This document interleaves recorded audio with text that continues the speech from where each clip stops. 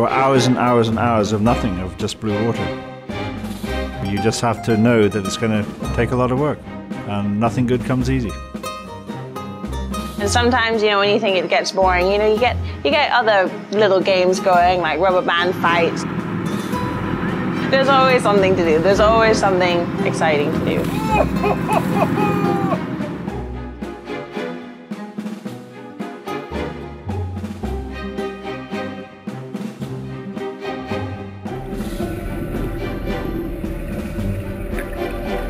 seeing that strike, seeing that dorsal fin come through the water, it, it takes away all the weight and it is so worth it.